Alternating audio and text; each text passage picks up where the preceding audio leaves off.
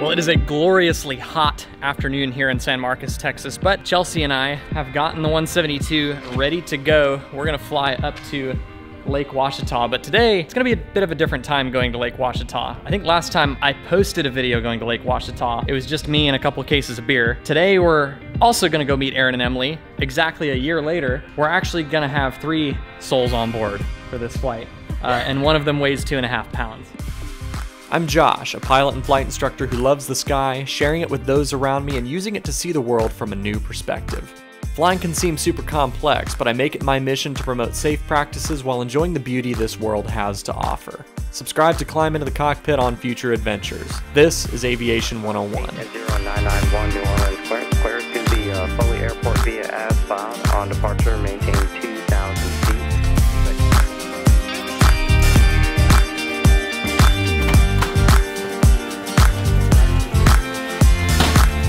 We're actually gonna have three souls on board for this flight, uh, and one of them weighs two and a half pounds, and she's coming around the corner right now.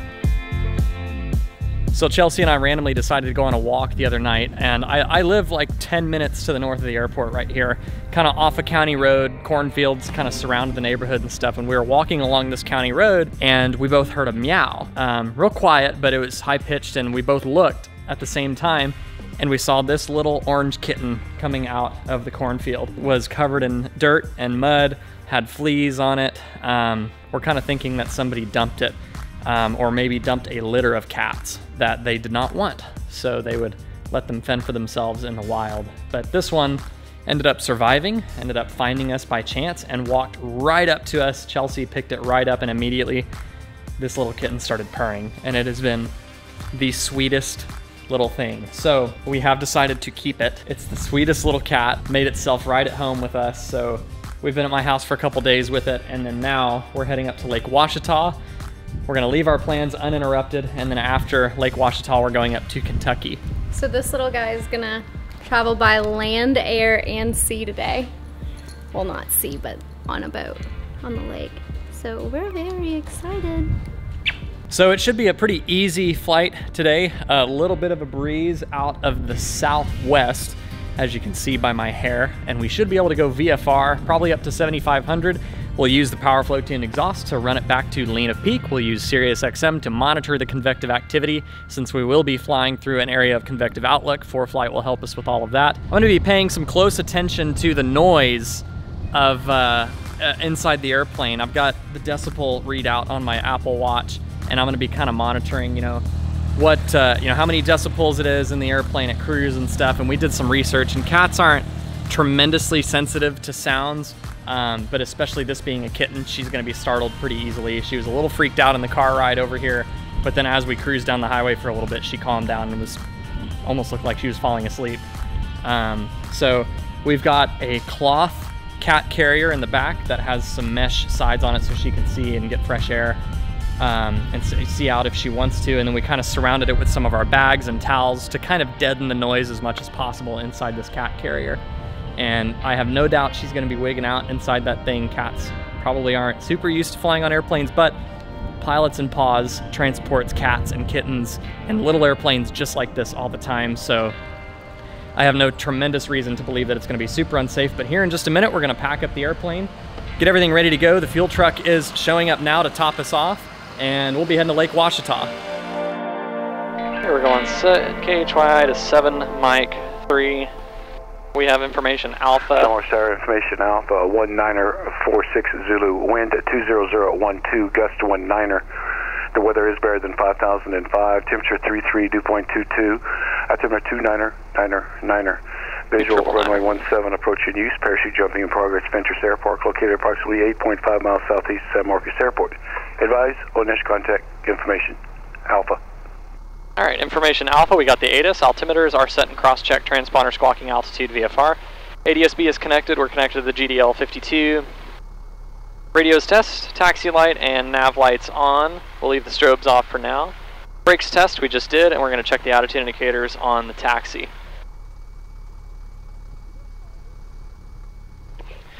Okay, we're going to point our nose into the wind here and just go ahead and get our run up out of the way so once we begin taxiing, we don't have to stop again. We can just roll out onto the runway once we're clear for takeoff. Run up, brakes set. Fuel selector on both. Trim is set for takeoff, flight controls. Free and correct. Everything feels nice. Turn on my portrait lock on the iPad there. Uh, instruments calibrated and cross-checked. We're going to set the heading bug to runway heading 170. Altimeters look like they agree. Airspeed indicators look like they agree. Turn coordinators agree. And HSI aligns with the compass. Mixture set for best power. We'll go in just a little bit. Not full rich. The primer is in and locked. Throttle to 1700. We'll get our windows shut so we don't terrorize the cat. Rise in the carb temp. All four EGTs started coming down. Slight drop in RPM and it recovers. Two clicks to the left, that's the right mag. Left mag out, smooth drop, rise in four. Two clicks back to both. And one click, left mag, right mag out, smooth drop. All four EGTs are rising. One click back to both, we are on both. Pressure and temp on the oil look great. We're full of fuel, the totalizer agrees. I reset it. Fuel flow 5.0, carb temp looks great. Volts 13.1, neutral amps. Come back to hard idle. We're good, windows open, so we don't cook. She okay? Yeah. San Marcos ground, Skyhawk 80901. Skyhawk 80901, San Marcos ground. 80901, Cessna 172 at the T hangars, information Alpha, VFR to the northeast. Cessna 9901, runway 17, taxi via Alpha, Bravo, cross runway 8, Charlie Juliet, hold short of runway 13. Alpha Bravo, cross runway 8, Charlie Juliet, hold short of runway 13 to runway 17, 80901. Skyhawk 901, runway 17, clear for takeoff on course. Clear for takeoff on course, runway 1780, 901 will be a left turn out. Ready? Windows? Mixture. Full rich, strobes on.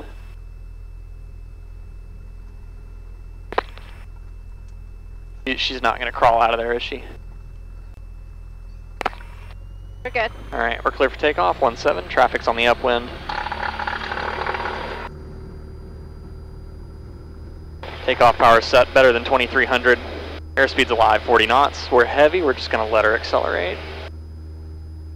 There's 55. Ooh, we're airborne at 800 feet. Wow, she's doing perfect. Runway 17, clear for takeoff. On course. We're gonna look left and we're gonna start a gentle left-hand turn, as gentle as I can. It's bumpy. She okay? Yeah. Starting to look a little concerned. Cessna 901, frequency change approved, good day. Alright, we're actually gonna go to 12722. 75 Bravo, Kilo, Austin approach Skyhawk November 80901 off San Marcos VFR request. What's rattling? This little panel. 901, say request. 80901 Cessna 172, we're about 5 miles to the northeast of San Marcos, VFR to 7, Mike 3, 7500. Already got a bug. Interest 80901, sorry, what was the destination one more time? Yes sir, the destination was 7, Mike 3. Cessna 901, squawk 2536. 2536 on the squawk, 80901. Climb checklist, speed, 85, we're doing better than VY, power set full, mixture set, lean for climb, EGTs, CHTs looking great. Cessna 901, radar contact, Austin altimeter 29907. 9 or 7, 901, we're passing 3,600 now. And taxi landing light, we're going to leave it on. Instruments calibrated and cross-checked. Altimeters, we just calibrated them, and 7,500 on the bug. Light plan open, we're talking. Climb checklist complete.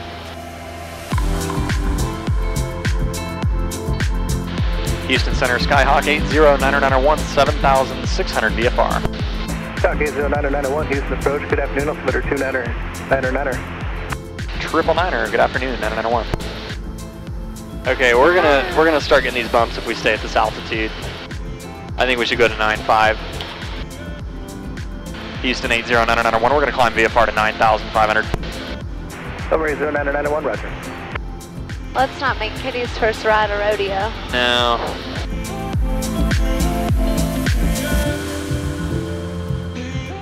Are we keeping her? Yes. Are do you not want to? I do. I'm just so like, Because if you don't want to keep her, then I know somebody who will take her. Me. oh. And when she gets of age, she'll probably ask where mom went. Yeah, right. I would totally whip you in a custody battle. Waco approach Skyhawk 80 Niner Niner 1 uh, 9,500 VFR. Lady 0991, Waco approach, Waco altimeter 2993. 2 Niner and Niner 3 80 Niner Niner 1. That's a bit of a pressure change. Skyhawk 991, area of light to moderate precipitation starting at your 1 until 2 o'clock and about 1.5 miles, approximately 3 miles in diameter. 80 Niner Niner 1, we're painting that on NEXRAD and we have a visual on it. We'll keep an eye on it. Thanks. Roger. Afternoon Center Max 2337. I'm about to eat this microphone sponge. I'm so hungry. Might get some fiber out of it. 37, forward center, climate change level 2. There's some cat food. Like the cat food might actually be okay. American 23. Will you taste the piece first? Not while we're flying. Why? I don't know if it's gonna give me the or what. you could eat one little one. I'm sure it's not bad. You're not gonna go. I don't know. Memphis 80991 is the Hog Bravo MOA ahead active. Negative, sir. Okay, thanks. We're gonna go ahead and uh, cancel flight following if you could. Uh, we'll go ahead and start making calls on CTAF. Alright, is it November 80991, radio service, turn rate squawk 1200, frequency change approved. Squawk VFR to advisory 991. Thanks for the help. Problem. 22.9. Push. I did not realize how mountainous it was right here. Uh huh. Yeah, I thought it would show me terrain. Maybe we're not low enough for it yet. Okay, so we cancel flight following. We're squawking VFR. We're, we are on the correct CTAF, 22.9. And we're talking. Bearce traffic, Skyhawk 80991, 3,400, three miles to the southwest of the field. We're going to cross over midfield, enter the right downwind, 26, full stop, Bearce. I see an 8 on this side. Yeah, it means the other side says 26, so this is most likely the correct airport. Runway looks in okay shape on this side. How about yours? It looks good. Mixture's coming in. Bearce traffic, Skyhawk 80991, turning on the right downwind runway 26, full stop, Bearce. Hi, baby. Is she poking her head out? Yeah, she's not liking that. I maybe advise zipping it up. She just laid back down. Landing light is on, autopilot not equipped. Seatbelt shoulder harnesses, mixture is set for best power. Carb heat, let's test it. Good, we don't need it, it's warm outside. And fuel selector is on both, flaps as required. Bearce traffic, Skyhawk 80991, turning right base 26, full stop Bearce.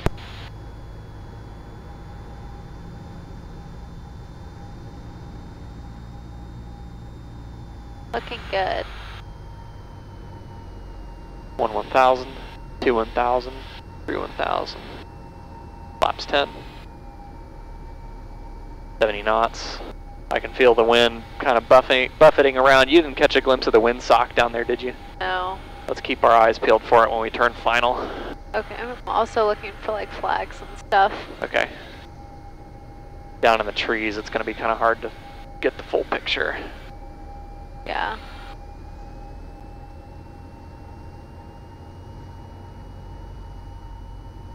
Bearce traffic, Skyhawk 80991 final, 26, full stop, Bearce. Yeah, I don't see one. Okay. I don't think the trees are really moving that much. 1 1000, 2 1000, 3 1000, flap set 20, power to idle. 1 1000, 2 1000, 3 1000, flap set 30.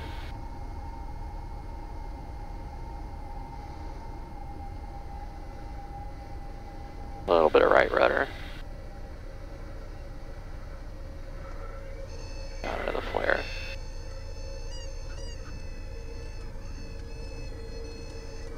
Hold that nose off. There's the nose. Nice and smooth for her. Bearce traffic, Skyhawk 80991 is down and clear of runway 26. Bearce. Mags work. Oh, here they come. Lights, avionics.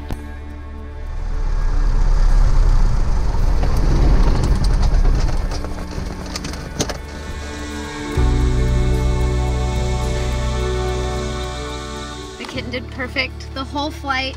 She seemed a little bit concerned at first, but then she just curled up in a ball and we tried to make this a lot more um, soundproof, not proof, but uh, we just tried to deaden the sound with some towels and she was all snuggled in, but the whole flight she just sat back there perfectly, snuggled in. She never whined, never cried, never got like anxious or excited. So I think we have a, a travel kitty. All right, we landed here at Bearce. Is that is that how you say it? I call it Beers, but I don't know what Beers? it's technically And like called. out. Lake Lake Wichita. What'd you say? Aaron Reeves, Emily Reeves, and Chelsea Finley, and then the kitten is in there, I think, under the couch. um, but it was a nice flight up here, very uneventful. Uh, Chelsea got hungry. I tried to offer her some cat food.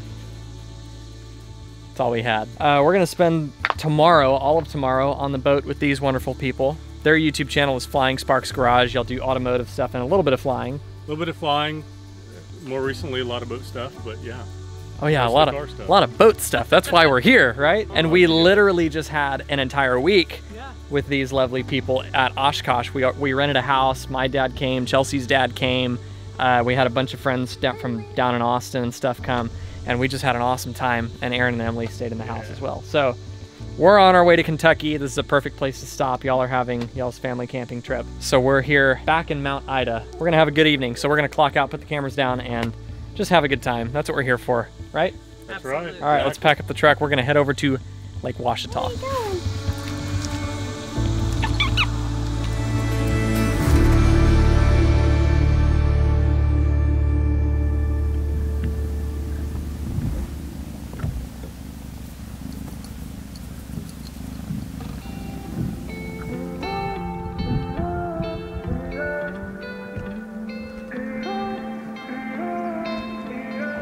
We all leisurely got out of bed to an awesome breeze through the boat's cabin, and after coffee and breakfast, it was time to hop on the ski boat. First up is Aaron on the wakeboard.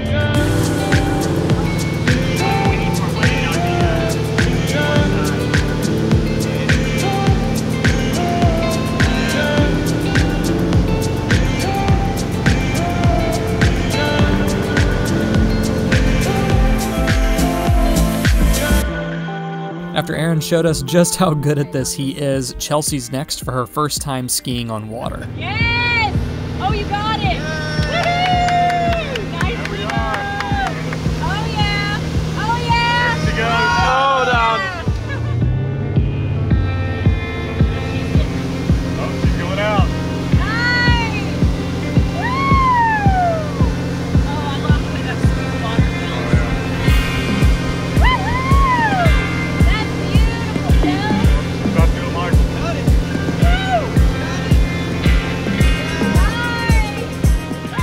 Her first time getting up on water, Chelsea totally killed it on the skis, so naturally, I'm next for comedic relief.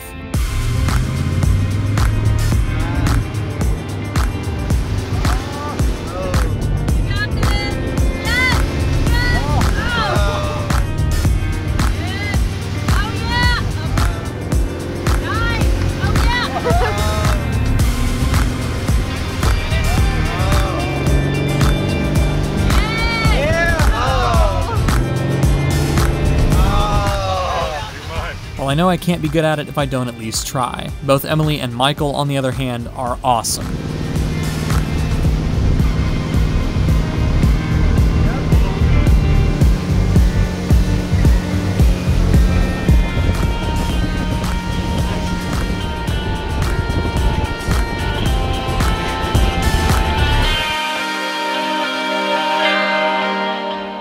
Very good at water skiing at all. I think I might stick to flying airplanes and filmmaking. We uh, we're out on the Malibu for a little bit. I'm actually really tired already. Already, I could use a nap. Um, but from what we hear, lunch is ready from fa- uh, Emily's family over there on shore. So we're gonna hop in this little kayak and paddle over. But we had them drop us off at the big boat that's anchored just off the cove, so we could check on the kitten. Fun day so far. Fun day on the water. Uh, we're gonna do a little bit of eating and relaxing, maybe a nap. Maybe a little afternoon nap wouldn't be too bad. Good day so far. We all have our favorite places, our favorite activities, our favorite ways to pass the time, but there's a glue that holds all of that together under a positive light in our memories. That's the people. I always associate places with the people I end up seeing and the times we've had there. And ever since Aaron and Emily invited me up a year ago, Lake Ouachita has quickly become a place that just always means I'm gonna have a good time with some really good people. Aaron, Emily, Chelsea, and I are already talking about what our next adventure up to Lake Ouachita is going to look like, and we obviously cannot wait until we all plan our next trip up here to meet up and just have an amazing time here. From Arkansas, Chelsea and I packed up the airplane again to complete our trip to Kentucky where her family is. And after our full summer of non-stop road tripping with the Flight Outfitters camper, I know she was super happy to get back to what matters most, family. The footage from that camper trip for Flight Outfitters will be coming out later on, and tons of other content we filmed this year is already in the queue. So be sure and subscribe and turn on those notifications if you haven't so you don't miss that upcoming content. If you want to support the channel, you can grab yourself some merch at the e-store or gain access to the raw edits of these flights on this channel. All available at aviation101.com. Links are down below. Keep an eye out for more epic content coming soon, and until next time, you know the drill. Stay happy, healthy, current, and proficient. We'll see you in the next one. Fly safe.